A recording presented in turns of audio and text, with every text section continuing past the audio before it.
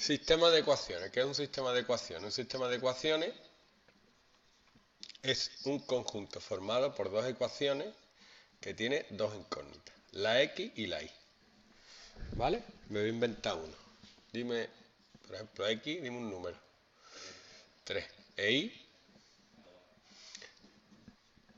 Voy a poner menos 2 por cambio un poquito. Entonces yo me puedo inventar dos ecuaciones, por ejemplo, 4x más 2y y calcula cuánto sería. 4 por 3, 12.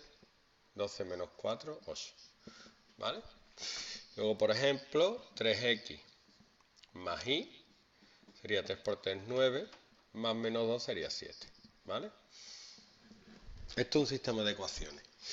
Vamos a resolverlo por sustitución.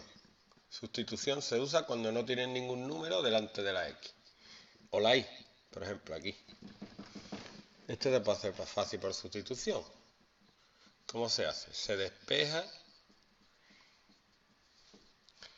una incógnita en una ecuación. La que a ti te dé la gana, la que te interese más, ¿vale? La que no tiene la que no tiene número, ¿vale? Entonces despejo de aquí la i y me queda 7 menos 3x, ¿ok? Luego, paso 2 se sustituye la incógnita despejada en la otra ecuación.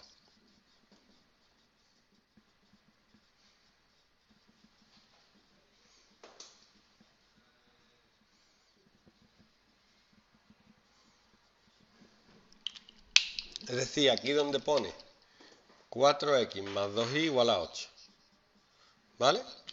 Donde pone y, en vez de poner y, pongo 7 menos 3x. ¿Vale? ¿Ok?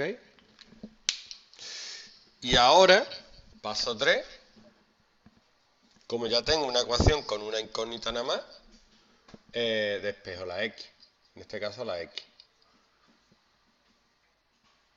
El truco está en el paso este, en el paso 2. Porque me queda de una ecuación con dos incógnitas, una ecuación con una incógnita. ¿Vale? Me queda 4x más 2 por 7, 14, menos 2 por 3x, 6x, igual a 8. Esto sería menos 2x igual a menos 6 y x sería menos 6 entre menos 2, 3, efectivamente. ¿Vale? Y una vez que tengo despejada la x, voy al paso 1 para despejar la y. me quedaría que y es igual a 7 menos 3 por 3. Sería 7 menos 9 menos 2. ¿Vale? Entonces me invento unas cuantas y te las pongo aquí, ¿vale?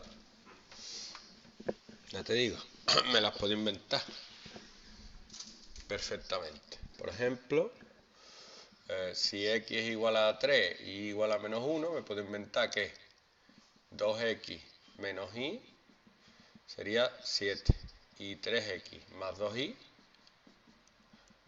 7 también. ¿Vale? Aquí lo que cambia es que tienes menos i en vez de i. ¿eh? Al despejar tienes que hacer menos i igual a 7 menos 2x y luego darle la vuelta. i igual a 2x menos 7. ¿Vale? ¿Lo veo no? la única diferencia, claro, le tiene que cambiar signo. Yo lo que hago es pasar la i para acá y esto para qué. Me queda i igual a 2x menos 7. Pero ya el resto de los pasos son iguales. Y así nos podemos tirar hasta mañana x igual a menos 2 igual a 3. 3x más 4y sería menos 6 más 12, 6. Y yo qué sé, x menos 2y sería menos 2 menos 6 menos 8. Venga, estas dos que te van a salir bien.